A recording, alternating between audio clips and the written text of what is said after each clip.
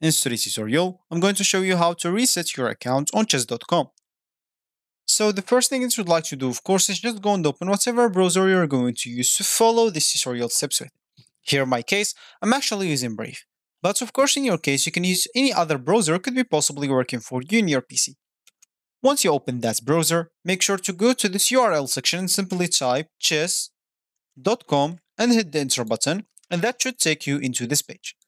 Of course, if you have an account, you can simply go and click on this login option on this left panel, and here you can enter your username or email, password, and check this remember me if you don't want to log in anymore.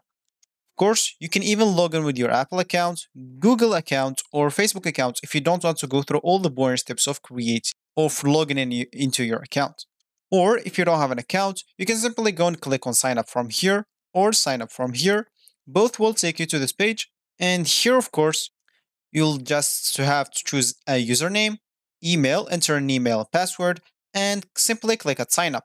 Of course, you'd like even to choose your chess skill level, new to chess, beginner, intermediate, or advanced. And also, you can sign up with Apple, Google, or Facebook, like login if you don't want to go through all the boring steps of this is signing up, of this signing up. So once you're logged in at your account or you just created your account, you'll find yourself here in this home screen or the main screen of the chess.com. So as we said in the beginning of the tutorials, would like to reset your account on chess.com. So however, the data on your chess states page cannot be reset. The page shows the data on every game you have played on the site and cannot be removed or changed. If you really want a fresh start with a clean slate or history, then you can close your account and create a new one. That's actually the only way to reset kind of your account because you cannot do that in the same account.